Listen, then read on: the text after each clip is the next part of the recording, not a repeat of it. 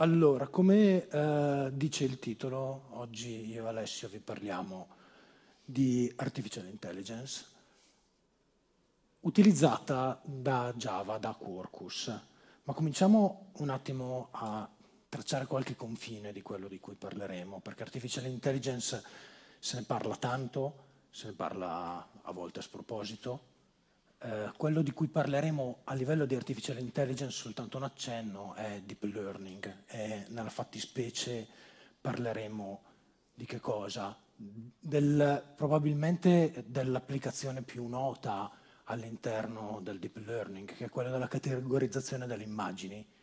Per essere precisi, quello che faremo è useremo una rete neurale già istruita, abbiamo preso una di quelle eh, che si possono trovare facilmente online, che hanno vinto eh, il concorso ImageNet. ImageNet è un concorso che si fa tutti gli anni nel mondo deep learning, in cui a vincere è la rete neurale istruita che riesce a identificare meglio immagini che non gli sono mai state date, ovviamente, eh, nel, possibilmente nel minor tempo possibile, ma soprattutto con la miglior percentuale di eh, precisione. E, eh, però che cosa utilizzeremo di fatto nella parte deep learning? Nella parte deep learning quello che useremo è TensorFlow. TensorFlow è di fatto eh, lo standard, lo standard di fatto eh, all'interno del mondo delle reti neurali e eh, mh, permette di esprimere come un grafo complesso una rete neurale, istruirla e poi utilizzarla da un client in modo da eh, da fornire input mai visti per ottenere output attesi. Ma come lo vedremo noi TensorFlow? Come una black box. E questa cosa è intenzionale, perché non è eh, lo scopo della nostra presentazione andare a parlare di tensor, andare a parlare di array multidimensionali, di come si istruisce una rete neurale, come è fatto il modello. Non è questo il punto. Quello di cui vogliamo parlarvi oggi è del client, cioè di come poi un modello che è stato istruito da eh, un data scientist ben più esperto magari di noi del, del problema o eh, anche della tecnologia stessa, possa essere utilizzato poi all'interno di un servizio, di un microservizio, quindi all'interno di eh, un'applicazione cloud.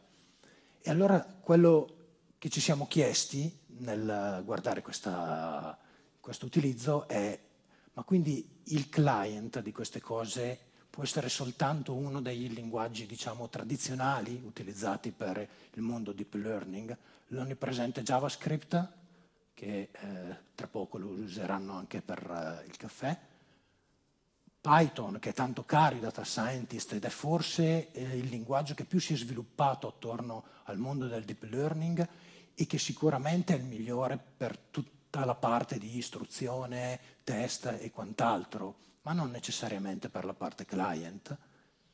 O Go, che eh, in quanto cloud, eccetera, non andiamo a parlare di cloud e quant'altro, anche sul mondo deep learning è usato parecchio. Eh, eh, noi invece lo vorremmo alimentare con Java, il buon vecchio Java che eh, poi così vecchio forse non è. Ehm, ma perché? Mm, perché? Perché alla fine le due applicazioni che si possono vedere di una... Scusate. Ah no, sì, giusto.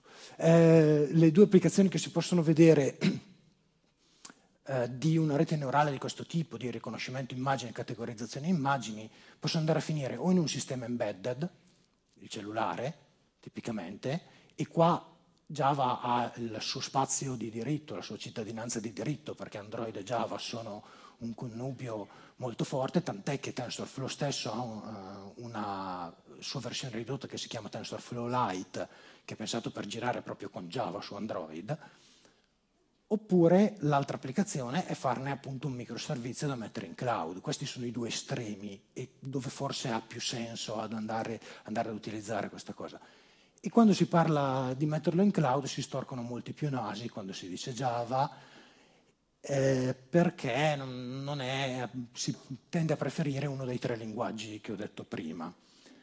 Ma se le performance sono vicine a quelle degli altri linguaggi, ci potrebbero essere, utilizzando Java e in questo caso, nel nostro caso Quarkus, per avvicinarci a quelle performance, ci potrebbero essere degli altri vantaggi che forse sono anche più importanti delle performance du cours.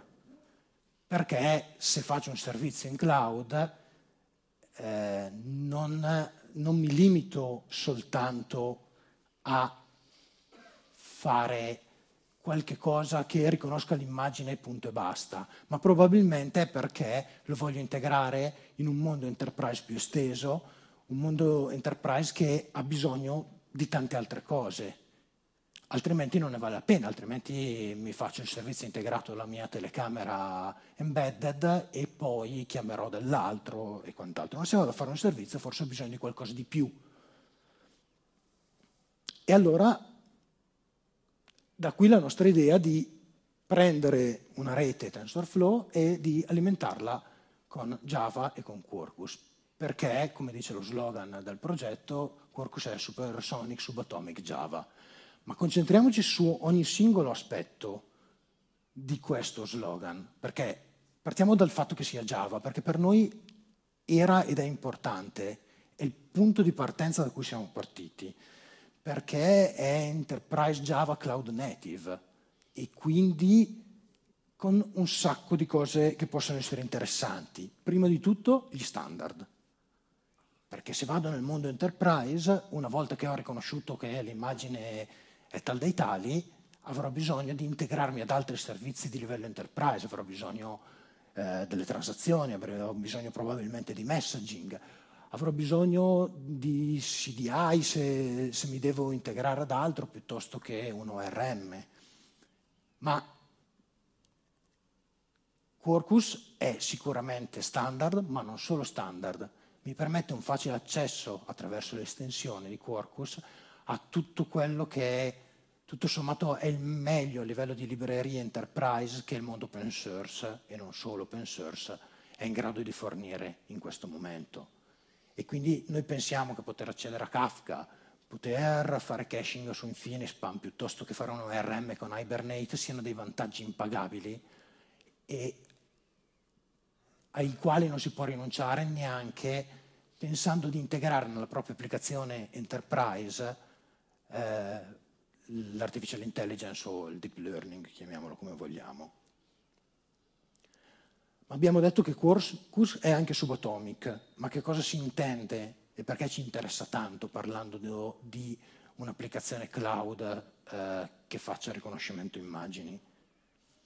Ma sostanzialmente per questo motivo, perché se, se pensiamo ad una container platform e paragoniamo quanti servizi possiamo eh, deployare sullo stesso container di un Java puro, rispetto ad un paragone con Node.js o Go, a volte il paragone eh, è impietoso e, e, lo è soprattutto perché Java ha quel quadratino nero che si chiama heap memory, che a volte può essere molto pesante a livello di occupazione di memoria e come sapete meglio di me sul cloud questo si traduce in costi.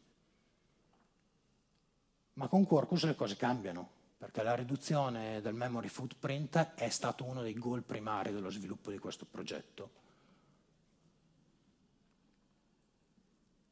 E quindi quello che, che vediamo qua e che, che, cambia molto è che all'interno della stessa container platform posso deployare molti più servizi Quarkus di quanti non potrei fare con un Java Hotspot. Ma facciamo un piccolo passo indietro per capire come si è arrivati qui e come funziona sostanzialmente la cosa. Cioè, come funziona un application server Java I tradizionale. Eh, c'è il sistema operativo, c'è l'application server e soprattutto i servizi fino ai vostri deployment. E eh, per chi ha, è abbastanza vecchio e si ricorda, all'inizio di Java I si compilavano gli stub si faceva una metacompilazione degli stub dei servizi, esattamente come si faceva in Corba, tanto per intenderci. Eh, JBoss è stato il primo e poi tutti gli altri a seguire, hanno spostato questo lavoro, invece che farlo fare in precompilazione, l'hanno spostato allo startup time. E questo ha semplificato moltissimo la vita agli sviluppatori perché non si dovevano più occupare di fare la precompilazione. In pratica JBoss e poi gli altri application server allo startup time, utilizzando Reflection, utilizzando Dynamic Class Loading e tutto il resto, fanno under the hood tutto quello che si faceva in compilazione degli stub. Ma oggi la situazione è molto diversa, non parliamo più di un monolita bare metal, ma parliamo di eh, microservice o addirittura se pensiamo a, al serverless, pensiamo a centinaia di servizi che stanno all'interno dello stesso container. E allora quello che dicevo prima, la compilazione eh, allo startup time e tutte le facilities che hanno semplificato la vita a noi sviluppatori hanno un costo e questo costo è sicuramente un, un overhead nello startup time, ma soprattutto il costo se lo porto sul cloud è l'overhead nel memory footprint, che si traduce effettivamente in un costo economico.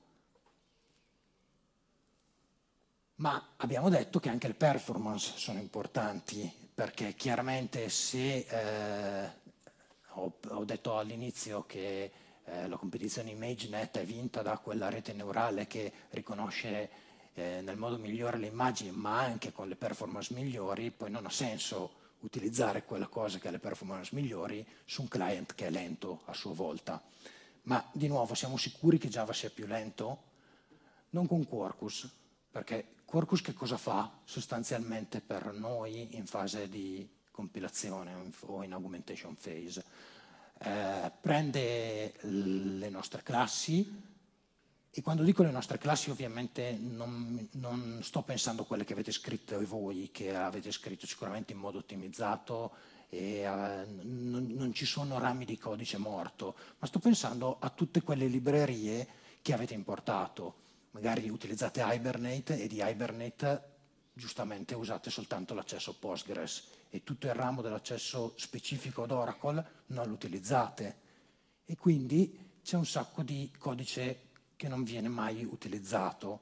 In un uh, hotspot tradizionale tutta questa roba viene portata all'interno del vostro fat jar o comunque nel vostro deployment e deve essere eh, e fa parte comunque sia della memoria che eventualmente eh, durante la fase di JIT mh, appesantisce. Quello che fa Quarkus è andare a fare un'analisi statica e eliminare tutti i rami di codice morto con eh, un livello di dettaglio molto alto, si arriva fino alla singola variabile non acceduta o il singolo metodo non chiamato. Il risultato è di avere un bytecode estremamente efficiente, sia che poi questo venga invocato in uh, eh, JVM mode, oppure si faccia il passaggio successivo con un ahead of time compilation per arrivare a codice nativo e ho detto una ahead of time compilation, non la ahead of time compilation, perché l'associazione con GraalVM è immediata, ma Quarkus è pensato e scritto per potersi attaccare anche ad altri compilatori nativi. Sicuramente GraalVM deve la sua fama in questo periodo, pur essendo un progetto non giovanissimo.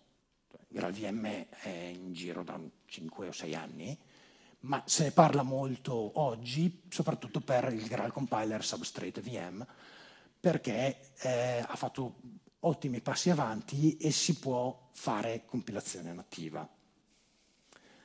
Ma di sicuro c'è un dark side nella compilazione nativa del Graal VM, ma in generale una head of time compilation, che è che è complicato sostanzialmente ha, ha parecchie limitazioni e di nuovo queste limitazioni non impattano tanto sul codice che andate a scrivere voi, perché il codice che andate a scrivere voi è, è tendenzialmente scritto da zero e soprattutto magari pensato oggi e quindi con tutte queste limitazioni o queste possibilità in testa. Ma di nuovo andate ad utilizzare una libreria che magari è stata scritta 5 o più anni fa e che queste limitazioni non ce l'aveva in testa e, di fatto non è utilizzabile così com'è all'interno di GraalVM. Quello che si fa con Quarkus è di fornire una serie di estensioni e queste estensioni eh, rendono più semplice e possibile utilizzare le varie librerie all'interno di eh, una compilazione nativa. Quello che eh, poi vedete nella demo che Alessio vi, vi proporrà, è che abbiamo fatto esattamente questa cosa anche per portare eh, TensorFlow, la parte client di TensorFlow, all'interno di un'applicazione eh, che poi possa compilare in nativo. Non è ancora un'estensione, ma mh, tendenzialmente nel futuro potrebbe diventarla, proprio perché, eh, poi vi racconta bene lui, abbiamo affrontato tutta una serie di complicazioni che sono tipiche di quando si porta eh, una libreria scritta, in questo caso sei anni fa, eh, quella di TensorFlow, all'interno di, de, del sistema più moderno, Quarkus più GraalVM. E da qui eh, tutto sommato eh, viene la spiegazione del nome, eh, Quarkus è Quark As, Quark come la particella, quindi qualcosa di piccolo, ehm, e As come noi, noi sviluppatori, che siamo la cosa più complicata che c'è nel software e quindi spesso utilizziamo, eh, di nuovo penso a cose scritte qualche anno fa, tutte le facilities eh, più nuove che abbiamo a disposizione non sempre tenendo in perfetta considerazione le performance, il memory footprint o neanche, come ci raccontava stamattina Chris, l'impatto sul pianeta. Ma così, tre parole per poi lasciare eh, la, lo spazio alla demo. Eh, ma come funziona alla fine Quarkus? Un po' di idea ve l'ho già data, è fuori dal tempo massimo di questa presentazione spiegarvi per bene come funziona, ma davvero in tre parole quello che fa è fare tutto o quasi quello che veniva fatto a runtime, che vi avevo raccontato prima, che è stato spostato da, dalla compilazione degli stub, è stato spostato a runtime, farlo prima, farlo in fase di build time. E quindi eh, tutto questo ha tutta una serie di vantaggi, tanti benefici. Eh, Ovviamente tutti questi benefici, peraltro, li potete avere sia che restiate in JVM mode perché il bytecode che uscirà sarà altamente ottimizzato, sia che poi si faccia il passaggio successivo e si vada in native, come già vi ho detto. Questi sostanzialmente sono i passaggi che fa una compilazione tipica eh, fatta in Quarkus, ve li ho raccontati nel, nel, nella cosa di prima, però eh, questi sono sostanzialmente i passaggi. Come vedete alla fine eh, si sdoppia perché si può restare in hotspot e avere un'immagine che funziona meglio comunque, soprattutto da un punto di vista della memoria, e nella demo lo vediamo, eh, rispetto ad una compilazione Java normale, oppure si può andare in native mode. E questi qua sono i numeri, eh, perché i numeri a volte sono importanti, questo è il tempo di partenza di un paio di applicazioni REST è una un pochino più complicata. E vabbè, eh, qui i numeri sono importanti, ma sono ancora più importanti quelli del memory footprint. Eh, io ci tengo a sottolineare anche la differenza tra un traditional cloud native e un Quarkus più OpenJDK, perché eh, ovviamente in nativo è, è disarmante, ma, eh, ma, anche in OpenJDK otteniamo ottimi risultati, specie con applicazioni più grandi, perché si vede eh, ancora di più la differenza. E ultimo, ma non ultimo, la cosiddetta developer joy. Eh, qui l'abbiamo visto per chi c'era alla presentazione di Mario eh, parecchio, se ne vede un pochino in demo. Mm, vi invito a sperimentarlo perché comunque davvero è, eh, potete smettere di, di farvi dire da quelli che sviluppano in Node.js che ma non riesce a provare al volo le cose. Ci si riesce e ci si riesce bene. Adesso vi lascio alla demo eh, di Alessio che invece vi fa vedere nel codice quello che abbiamo fatto, i passaggi che abbiamo fatto per arrivare a eh, chiamare la, eh, la rete neurale da Java.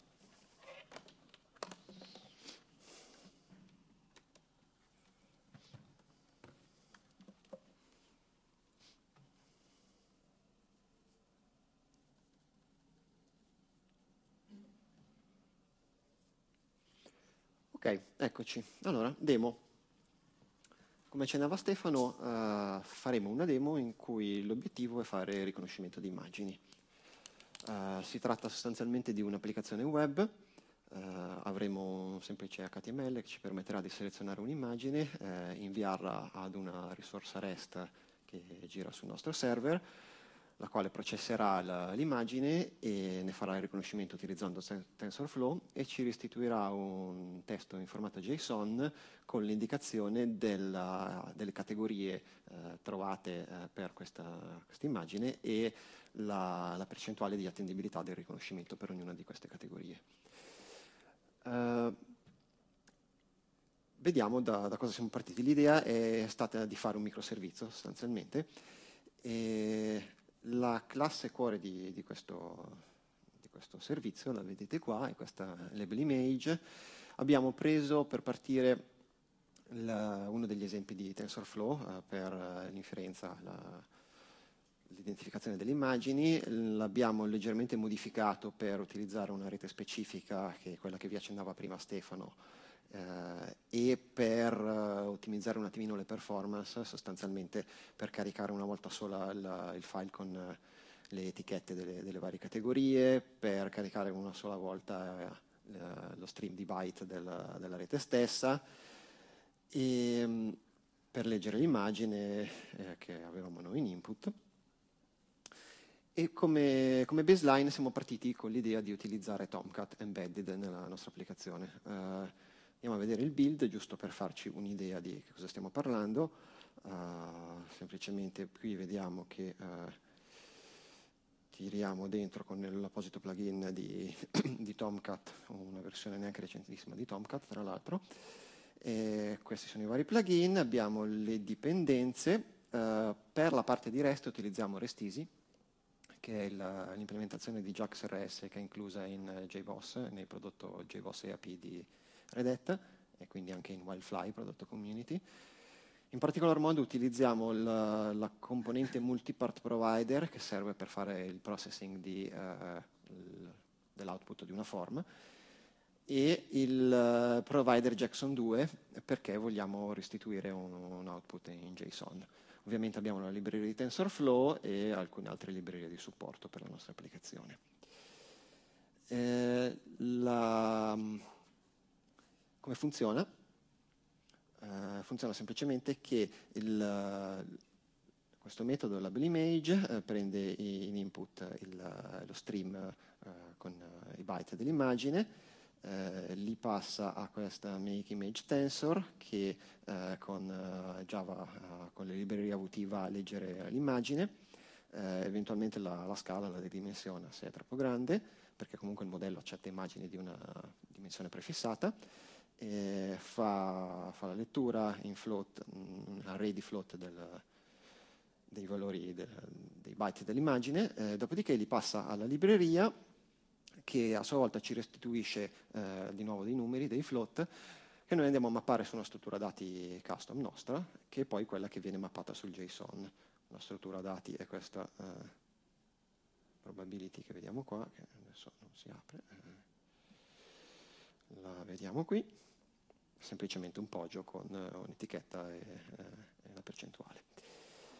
Allora, andiamo a vedere come si comporta questa applicazione. Ah no, beh, la, la risorsa uh, REST è una classica risorsa JAX-RS, annotata con le annotazioni classiche di JAX-RS, in cui noi prendiamo in input il, il form multipart, passiamo lo string di byte qui alla, alla classe di prima e facciamo il conto del tempo che è servito per fare il, processing dell'immagine e restituiamo eh, la collezione di oggetti poggio che viene trasformata in JSON. Allora, andiamo a vedere, beh, intanto magari la facciamo partire. Mm, quindi io l'ho già compilata prima. Uh, è un fat jar, per cui lo avviamo così, java-jar. E apriamo. Allora andiamo a selezionare la nostra immagine, prendiamo ad esempio questa immagine di una tigre, schiacciamo process e dopo un secondo, lato server, un secondo e set misurato lato client, otteniamo nostro, i nostri cinque risultati che abbiamo chiesto, di cui il più probabile è il primo ovviamente, e dice che è stata identificata una tigre. Bene, eh, una seconda eventuale invocazione sarebbe sensibilmente più veloce, 27 millisecondi, perché ormai è stato caricato il, il, il grafo e la sessione è stata inizializzata. Ovviamente potremmo anche fare con altre immagini, per dire con un fungo. E vedete anche qui boletus. Bene, è interessante andare a vedere l'occupazione di memoria di una uh, cosa di questo tipo. Allora, vediamo, questa dovrebbe essere questa qui, vediamo, sì, Java Manager Web App, siamo attorno ai 210 mega, 210-215, questo giro è un po' più parsimoniosa con la memoria, ovviamente è una stima quella, cioè non è precisissima. Uh, va bene, abbiamo deciso allora di provare ad usare Quarkus e vedere se abbiamo delle migliorie. Uh, come si fa a portare questa applicazione in Quarkus? Uh, l'abbiamo presa tale quale, abbiamo semplicemente cambiato il build. Il build lo vediamo qui. Uh, che cosa abbiamo di diverso? Abbiamo l'import delle dipendenze di Quarkus, in particolar modo beh, ovviamente del core di Restisi, del, dell'estensione di Restisi, dell'estensione di Restisi per usare Jackson, e poi ci serve comunque la componente di Restisi per il multipart, eh, perché è opzionale. Il resto è sostanzialmente uguale.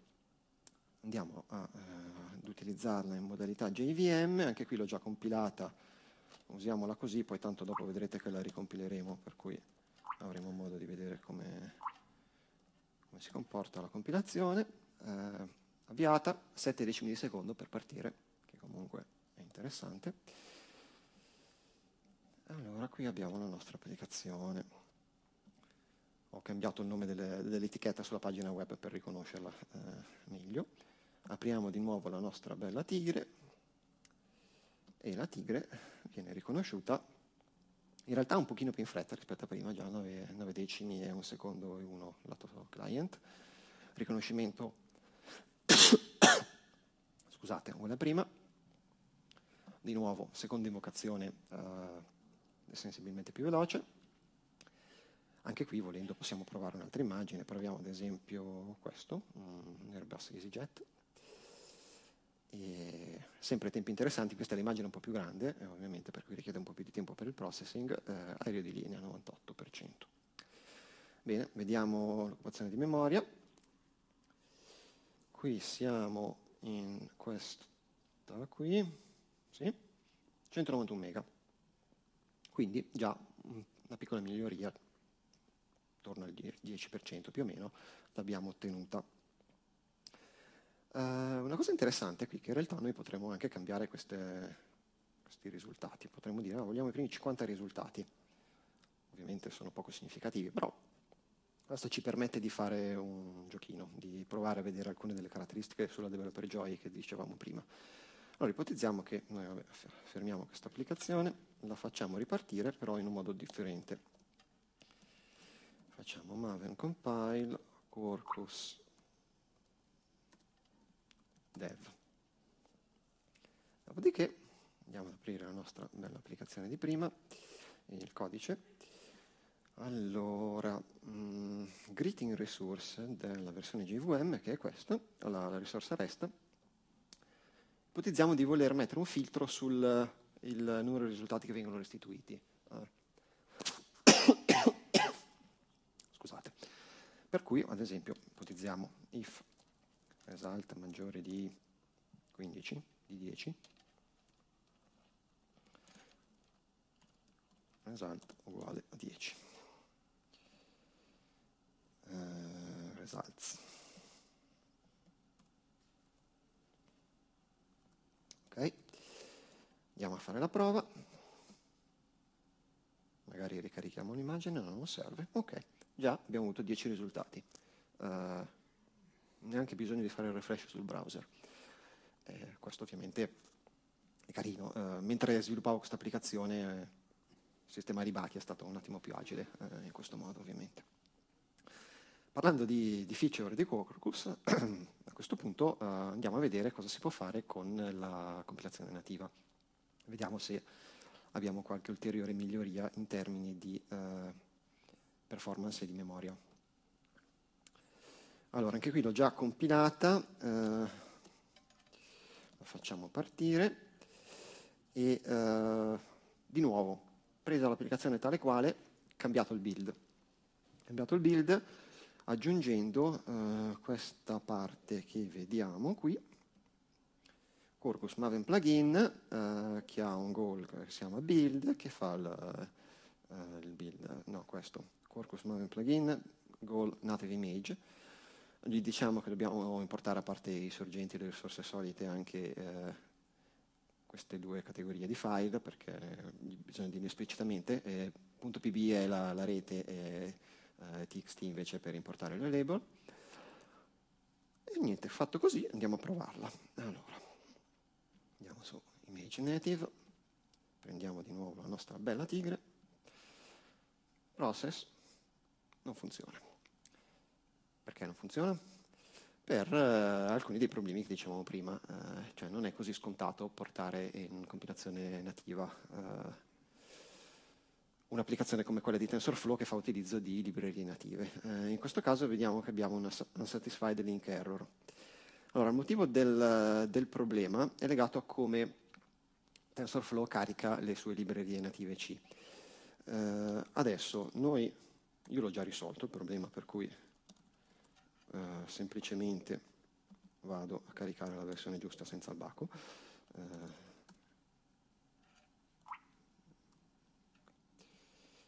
magari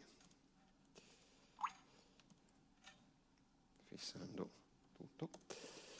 Va bene, eh, ricompilo e poi mentre ricompila, visto che ovviamente richiede un, un po' di tempo, andiamo a capire che cosa abbiamo fatto per sistemare questa applicazione. Allora, label image nativo. Dicevo, il motivo per cui non va è che eh, TensorFlow deve caricare le librerie native e in particolar modo carica il caricamento di queste librerie native viene effettuato in fase di inizializzazione delle principali classi di TensorFlow. Siccome, come accennava prima Stefano, eh, Quarkus in augmentation phase, cioè quindi durante il build, va a, ad inizializzare tutte le classi che servono, eh, ovviamente va anche a, a far partire la compilazione, la, l'esecuzione di questa inizializzazione delle librerie con GNI. E quindi viene salvato il riferimento alle librerie, il riferimento in memoria alle librerie, che però non risulta più eh, utilizzabile una volta che l'immagine eh, viene usata a runtime. Uh, per risolvere questo problema potremmo fare sostanzialmente in due modi. Eh, o uh, dire a Quarkus, no guarda, non fare l'inizializzazione uh, a, a build time de, delle classi, o comunque anche solo delle classi di, di TensorFlow, che funzionerebbe, ma eh, noi in realtà vogliamo che lui faccia l'iniziazione delle classi perché ci fa comodo che il class loading sia già effettuato una volta che andiamo a runtime. Se no, alternativamente possiamo fare una cosa come quella che abbiamo fatto noi, cioè dire a, uh, a TensorFlow di rinizializzare le classi la prima volta che esegue a runtime, quindi di ricreare il link. Lo facciamo usando la reflection, in questo caso, andando a chiamare il, il metodo init che c'è dentro a questo class TensorFlow che come potete vedere fa il, il collegamento JNI alla libreria. E questo viene fatto sulla prima invocazione, tanto è già finita la compilazione, velocissima, la farà fatta bene. Sì. E, ehm, ma non è l'unica accortezza che ci serve per riuscire a far andare questa applicazione in nativo. Uh, l'altra problematica principale che abbiamo è che, uh, siccome al momento compilazione nativa significa usare GraalVM, in particolar modo Substrate VM, uh, dobbiamo sottostare alle limitazioni di Substrate VM. Una di queste limitazioni, che non, spesso, non sempre viene citata anche nelle varie presentazioni su Quarkus, è che le librerie AVT non sono ancora supportate in Substrate, quindi non possiamo caricare l'immagine, non possiamo fare mm, image processing. Come abbiamo eh, trovato un workaround al problema, eh, abbiamo eh, usato un'altra libreria per caricare le immagini. In particolar modo, eh, beh, ce n'è diverse, ce n'è una di Apache che si chiama Apache Common Imaging, che abbiamo utilizzato, se la trovo, perso il punto.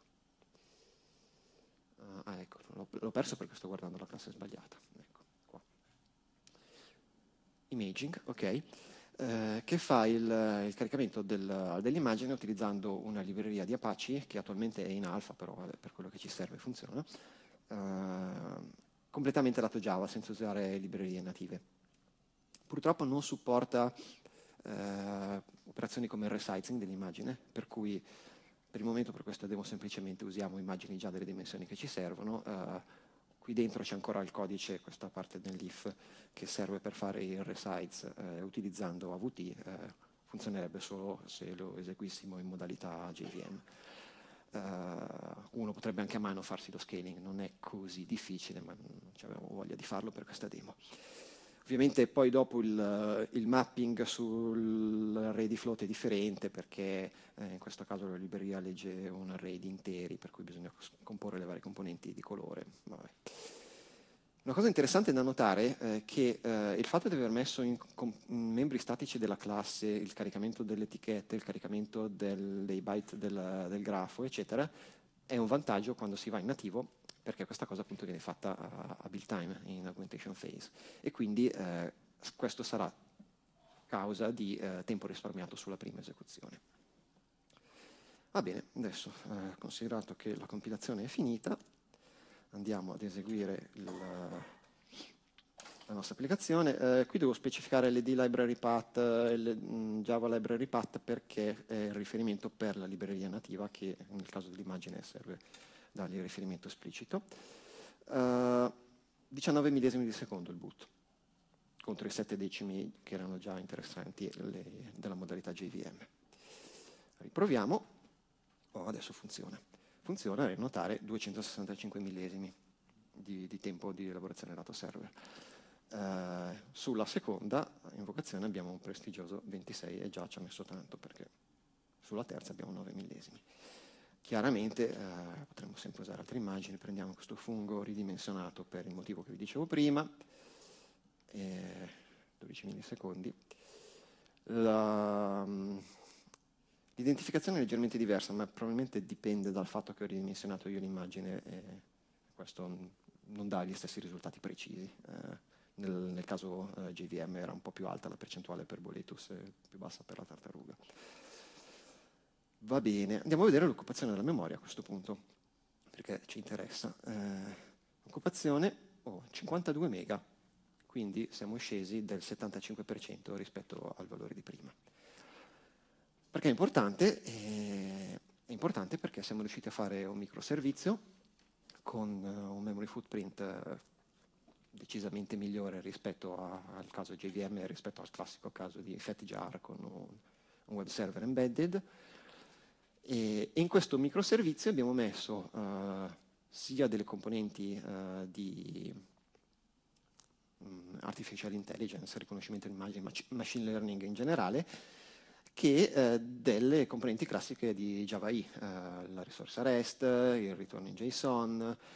ovviamente avremmo potuto mettere ben altro nel senso che avremmo potuto interfacciarci con un database, consumare una serie di immagini che ci vengono fornite su una coda, eh, interfacciarsi con, interfacciarci con sistemi legacy, magari usando so, eh, servizi web service SOAP.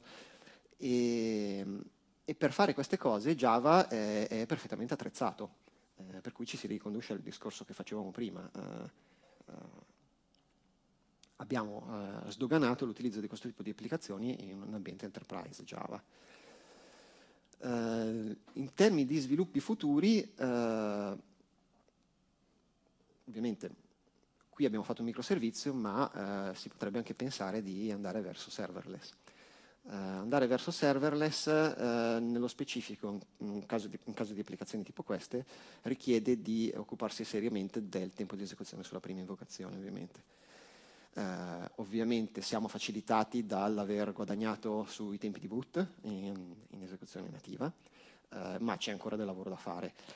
E eh, nello specifico il lavoro da fare in questo caso sarebbe ottenere una sessione eh, di TensorFlow che sia già pronta per l'utilizzo sulla prima chiamata, perché noi in realtà la dobbiamo creare sulla prima chiamata la, la sessione.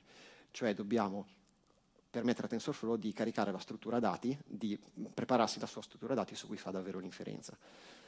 Uh, questo al momento non è fattibile out of the box perché per come è fatta la libreria lato nativo C di, di, di um, TensorFlow, uh, che andrebbe in qualche modo uh, rivista, fatto refactoring, suddivisa, ma diciamo che andava un attimo oltre il, lo scopo della nostra demo in questo caso. Eh, alternativamente ci sono altre librerie che si potrebbero eh, provare, investigare, per dire c'è Deep Learning 4J eh, che ha più processing lato Java e meno lato nativo C, eh, però anche lì insomma, bisogna, bisogna, lavorarci. Chiaramente uno step successivo in ottica Quarkus sarebbe quello di eh, trasformare questo lavoro che abbiamo fatto noi in un'estensione eh, disponibile per Quarkus, così che l'utente, utilizzando per dire annotation insomma, da studiare bene, eh, possa mm, abilitare il riconoscimento semplicemente fornendo per dire il, il grafo e, il, e, quanti risultati si vogliono e, e l'immagine ovviamente, senza dover stare a fare tutto il, il lavoro che abbiamo fatto noi. Uh, sull'ultima slide, vediamo se riusciamo a tornarci. Mm, no, perché ho chiuso l'applicazione. Vabbè. Uh, comunque, mm, tu ce l'hai? Sì. Uh, vuoi ritrattare il tuo? Ah, ce l'hai qua. Ah, no, ecco, sì. Con i link, poi vabbè, le slide le renderemo disponibili. Comunque, link per il sito di Quarkus per approfondire i sorgenti. Uh, TensorFlow, il primo è il sito generale di TensorFlow, il secondo è la pagina con la lista dei, dei model eh, da cui abbiamo attinto per fare il riconoscimento immagini in questo caso. Il nostro, quello che abbiamo usato noi, è il primo della lista. E eh, le demo, eh, questi sono i nostri due account GitHub, eh, in particolar modo io la demo l'ho eseguita da un branch eh, di, del, del primo, magari più tardi lo, lo sul master così è più facile da trovare. E questo è quanto, se ci sono domande siamo qua.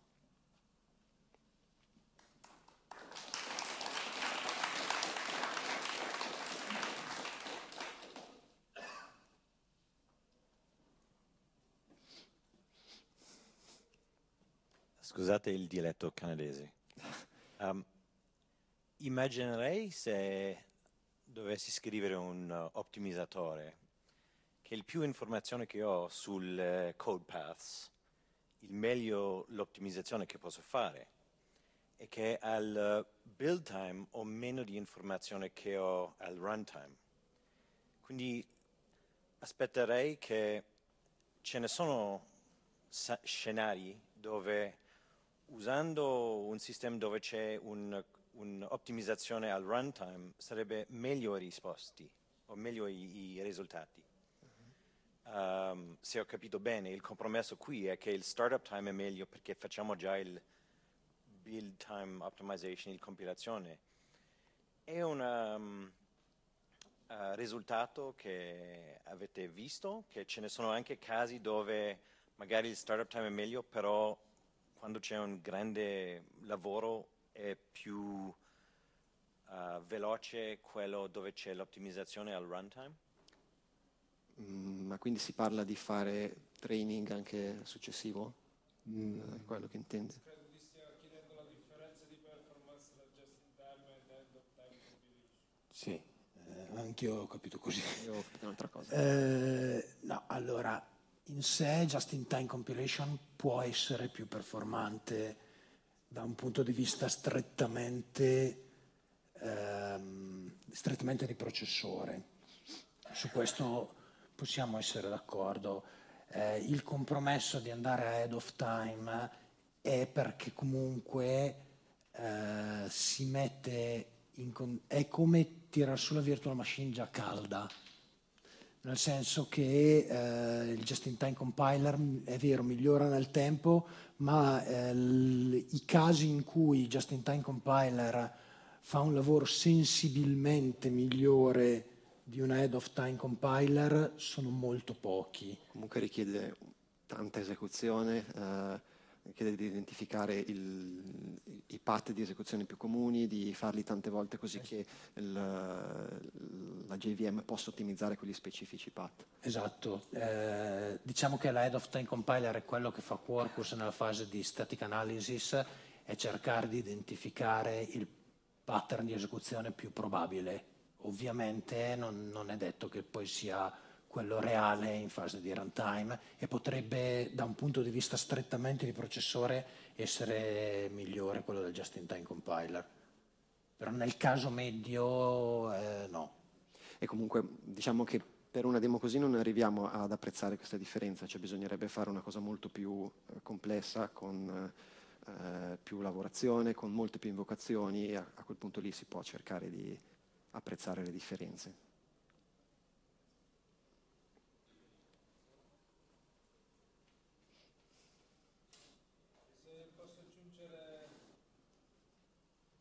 Posso aggiungere l'esperienza che abbiamo fatto noi, o meglio che ha fatto un nostro certo, cliente certo. che stava provando la soluzione che abbiamo mostrato durante il nostro talk di, di, di Quarkus e Cogito. Loro hanno fatto effettivamente un confronto tra mh, eh, le due soluzioni, quella head of time e quella just in time.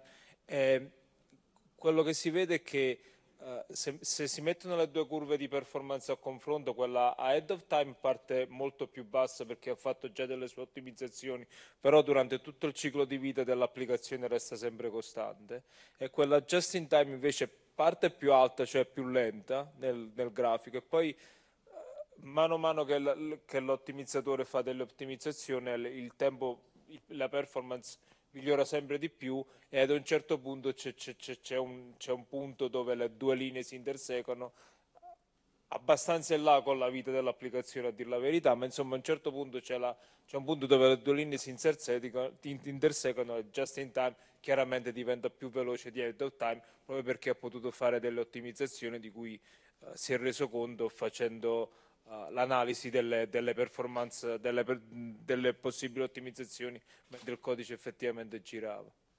Uh, ho il grafico, ho il grafico sul, sul, mio computer di, di, di, di, queste due curve, se, ci, se, se vuoi dargli un occhio dopo.